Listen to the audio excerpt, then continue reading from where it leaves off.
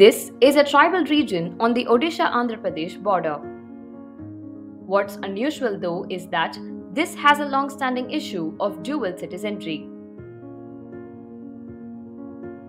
Hundreds of villagers in the Kotia group of villages of Koraput district have separate election cards issued by both states. Many avail subsidized food grain, old age pension, pension for widows provided by both Odisha and Andhra Pradesh. Both states have challenged each other's administrative control over the Kotia Gram Panchayat comprising 21 revenue villages.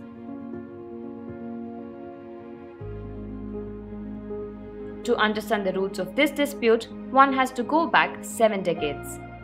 In 1936, Odisha or Orissa as it was known became the first Indian state formed on linguistic basis.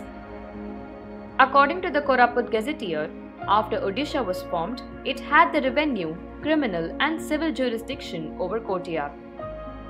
However, in March 1955, a boundary dispute arose when some officers of the Andhra government tried to collect rent from Kotia, which was a group of unsurveyed villages. Odisha protested the move and with no solution emerging, they moved the Supreme Court in 1968. The Supreme Court has since ordered maintaining the status quo.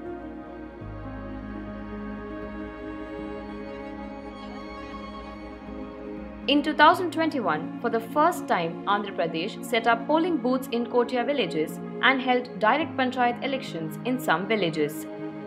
A year later, Odisha held elections to the three-tier Panchayati Raj institutions in the same set of villages.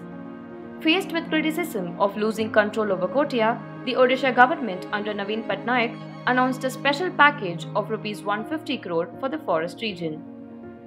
On the other hand, Andhra Pradesh is also investing heavily on social security schemes for Kotia villages.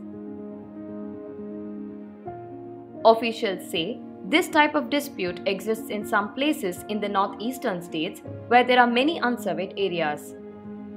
The chief ministers of both states issued a joint statement on November 9, 2021 to abide by the legacy of mutual cooperation and true spirit of federalism to resolve the issue.